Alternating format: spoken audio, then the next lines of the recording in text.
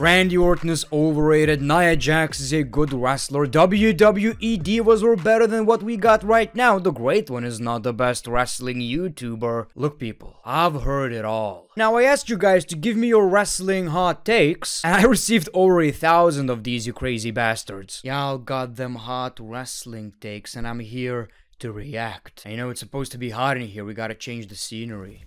Yeah, that's better. Wrestling is at its best right now. I can't remember the last time storylines meant this much. I don't know if it's at its best, but it's definitely better than anything we got in the past 10 years. I believe the last time people felt this way about wrestling was back in 2011 when we got John Cena versus CM Punk. And When it comes to storylines, I mean, I gotta say Gunther versus Chad Gable, that's special, and of course the entire Bloodline storyline. Other than that, I think WWE still have a long way to go. Damn, I just completely ignored AEW. Well, they have good stuff as well, I guess not really watching right now. They lost their biggest star, CM Punk. Cena is in his whole realm of almost anything. Star power, mic skills, iconic finisher, iconic matches, accolades. Nobody comes close to him in any of those. In almost every sport, the GOAT debate is close, but the WWE GOAT debate isn't close at all. John Cena is miles ahead of the second greatest of all time. I wouldn't necessarily said miles ahead. Uh, finisher, you say, oh...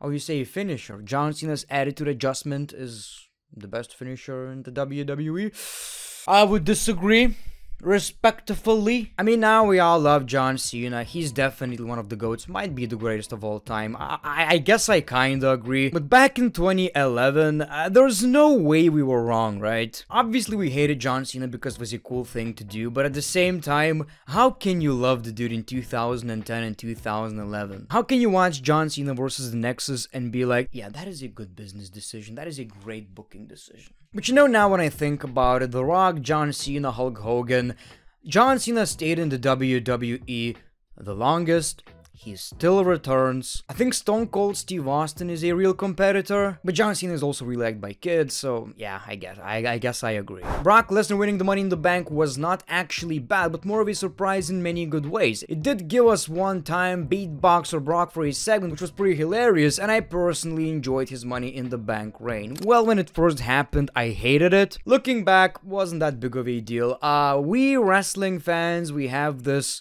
very bad habit of overreacting, and for a very good reason. More than half the time, we are right when WWE do something really, really stupid. But this, this was fine. I mean, Money in the Bank in general, does it mean a lot anyway, nowadays? Is Damian Priest going to win? I hope so. Kane as a director of operations wasn't even bad. He was so entertaining and it wasn't a downgrade to his character as fans made it out to be. Looking back, sure. The corporate Kane character was good, it was entertaining. He did a great job with the character, but you see people, the problem was people want to remember this version of Kane. So when you compare that version of Kane, which kind of felt like he's not even human, I get where people are coming from. So I half agree, but not completely. We should be so much more grateful for the wrestling continuing at such a good level during the pandemic. Well, yes and no. First of all, WWE are not doing it for the fans like they claim. Like, obviously it's a business, so they did it because uh, they needed to. The show goes on, you know, the, the network wants it, so that's a thing. But sure, yeah, it was better than expected. Fans are such a big part of wrestling, so the fact that WWE did so good without him is nuts. Triple H as an in-ring performer is very underrated. I feel like he's not underrated by the fans. We all know how great Triple H is,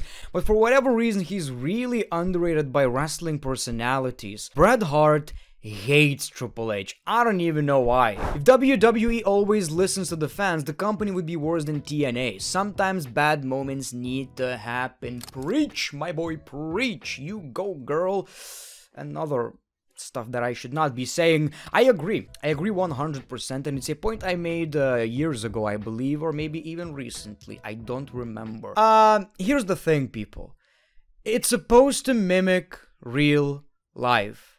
And life ain't always Rainbows and sunshines. Is that a Rocky quote, my dudes? Sometimes wrestling needs to piss us off, you know? It needs to happen. Then we have these good moments, we're happy. Just like life is all about ups and downs, wrestling should be the same way. Now, sometimes we get unnecessary burials, stupid moments that are, you know, unexcusable. But when it comes to not the right person winning a match, let's take WrestleMania for example, Cody versus Roman Reigns. Sure, we hated it, but at the same time, maybe it needed to happen. Maybe it's going to tell a pretty good story. Ups and downs. WWE booked Dolph Ziggler right. He could have been a multi-time WrestleMania main eventer. Not sure if multiple-time WrestleMania main eventer, but y'all know how much I like Dolph Ziggler, one of my favorites of all time to be honest. Uh, yes, he could have been huge. He could have been something like LA Knight is right now. He was maybe not as over, but pretty close. And WWE just dropped the ball for whatever reason. Maybe if Triple H was in control back then, maybe it would be a different story right now. But whatever happened, happened. And uh, Dolph Ziggler is not even on television right now. I just spit on the microphone. Star power and character are more important than wrestling ability. Star power is what brings viewers in and character keeps the viewer attention. Ah, uh, yeah, I think that's not even a hot take. You can tell me all about these great AEW matches, 5-star matches, Dave Meltzer creaming himself in his dirty little room. Yeah, I don't, I don't care if there's no good story behind it, if there's not a, you know, big character behind it. Knight is a very good example. Now, that's not my opinion. Some people even claim he's not that good in the ring. I think he's great, but if he wasn't, you know what? I wouldn't necessarily care that much. I'm here for his promos, I'm here for the moments. If Raw became two hours, it will be the best wrestling show in the world. I disagree. It would be a lot better, uh, absolutely, no question about it. The thing is, if it's still a Judgment Day promo in the beginning, Sami and Kevin Owens interrupts, we get Cody or Riddle or someone else, and it turns into a six-man tag team match. If the formula stays the same, I don't think two hours are going to help. The Miz is the most underrated WWE superstar of all time. Uh, no. He is underrated, sure. He is more like unappreciated, maybe underappreciated. I think people now especially know that The Miz is great. Unfortunately, WWE are not, you know, booking him right. I love Dominik Mysterio, I think he's one of the best heels in WWE right now, proven by the arena filled with boos every time he speaks. I think once he surpasses his mic skills a bit, he could be one of the company's top guys. But the thing is, he's still very young and he cannot be a main eventer in the WWE or anywhere else. He is in a perfect position right now, but once he gets older, more wrinkly, puts on some muscle, I think that's a possibility, but there's also a big chance this could be Dominik Mysterio's peak because what he's doing right now is almost unmatched. Kurt Angle is the funniest wrestler of all time. I'm gonna have to disagree. He's definitely funny. For me, personally, it's Sami Zayn because the delivery is so believable. He's like a character from The Office. Nia Jax is actually a great addition to Raw and I just stopped reading. That's what you get. You brought up Nia Jax. Okay, I'll be nice. He's talking about how great of a heel Nia Jax is going to be. We ain't talking about Nia. She's like a Voldemort right now. We ain't talking about Nia. Karrion Kross is not as bad as everyone says he is. He's good in the ring. He's a great character, great presentation. He just needs to win more rivalries and be booked like a dominant force. Yeah, but at the same time, his entrance is so unique.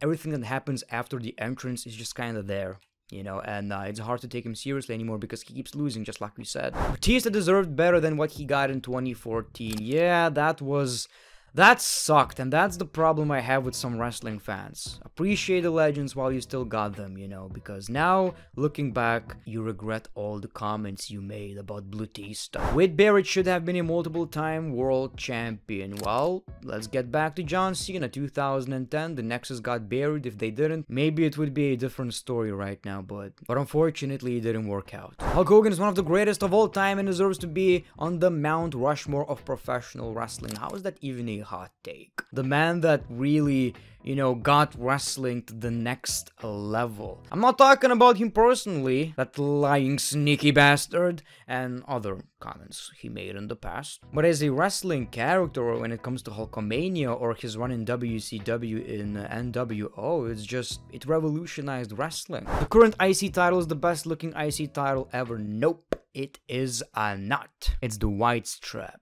LA Knight, yeah, is overrated. What's with this? What's this emoji right here? Are you giving yourself a thumbs up because it's it's a big fat thumbs down is what I'm giving you, boy. What are you talking about? I hate this whole overrated conversation. What does that even mean nowadays? The only way I'm going to agree someone is truly overrated is if he gets more five star matches from Dave Meltzer than anyone else for no apparent reason. Kenny Omega is probably overrated. Is he bad? Probably not. Overrated? Well, when you have more 5 star matches, 69 star matches than the entire WWE in its history, maybe you're overrated. LA Knight, I think what he's doing is absolutely special. And maybe you could say, well, anyone else could take that gimmick and make it work. Maybe, maybe not, maybe yes, I don't know, but they didn't. LA Knight did. LA Knight really isn't anything special. Well, Come on now. Are we going to turn on every single superstar that gets over now? Roman is overrated. Come on. I, I, I told you hot takes, not bad opinions. How is he overrated? In what way, shape, or form? I think CM Punk fans are a bunch of entitled incels. Ooh. I don't know, man. The more I think about it, the more I listen to interviews, opinions, the more I think about what happened, I feel like CM Punk is not entirely to blame. I feel like he has a temper. I feel like he is problematic at times, you know, I get it. But there's also a bunch of wrestlers in WWE or AEW who appreciate Punk, so I believe if you show the guy respect, he's gonna show it back. And if you disrespect the dude, he's just not gonna take any shit, you know. CM Punk doesn't deserve all the hate he's getting. Yeah, I believe so. I truly believe so. I think blaming him for the entire situation is dumb. But you know what, people? I'm just waiting for the guy to return to the WWE so we can all forget about it. That's all I got for you today. You know what, guys? This was actually more fun than I thought it would be. Disagreeing with my viewers.